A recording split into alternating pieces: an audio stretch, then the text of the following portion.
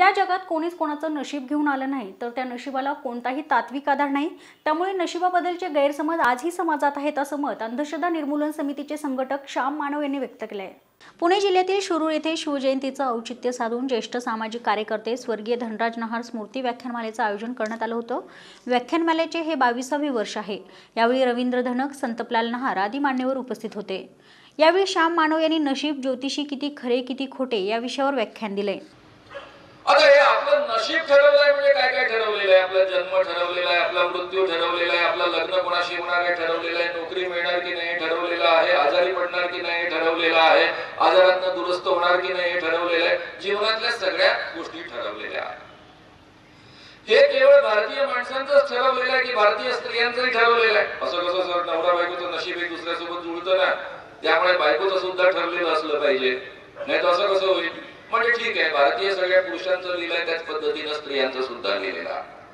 केवळ भारतातल्याच लोकांचं लिहिलेलं आहे की संपूर्ण जगभरच्या माणसांचं लिहिलेलं आहे? जर पाकिस्तानने आपल्याशी युद्ध केलं तर आपल्या देशातल्या लोकांचं काय होईल? म्हणजे पाकिस्तानच्या लोकांचं लिहिलेलं आहे. अमेरिकेने उद्या काहीतरी भलताच निर्णय घेतला तर काय होईल? म्हणजे अमेरिकेच्या लोकांचं लिहिलेलं आहे. म्हणजे थोडक्यामध्ये आपल्याला या निष्कर्षाप्रती यावं लागेल की या पृथ्वीवर जी काही सहाशे ते आठशे कोटी माणसं आहेत त्या सगळ्यांचं नशीब या सृष्टी नियंत्याने लिहिलेलं आहे. इतक्या मोठ्या सृष्टीच्या निर्माता आणि नियंता तुमचं माझं स्वतःच आयुष्य ठरवतो आपलं लग्न ठरवतो आपली नोकरी ठरवतोय कोणत्या जातीमध्ये जन्माला येणार हे ठरवतं हे सगळं शक्य आहे काय याचा नीट विचार करून पहा. तुमचं माझं नशीब ठरलेलं असण्याची मुळी शक्यता नाही कल्पना करा की तुमचं माझं जर नशीब ठरलं असतं तर माणसं ज्या पद्धतीनं उत्क्रांतीच्या पद्धतीनं जन्माला आली त्या पद्धतीनं आली असती का? नशिबाला कर्तृत्वाची जोड हवी जी काही गोष्ट आपल्या पूर्वजांनी प्रत्येकाच्या मनात बिंबवली आहे ही गोष्ट मूर्खपणाची गोष्ट आहे.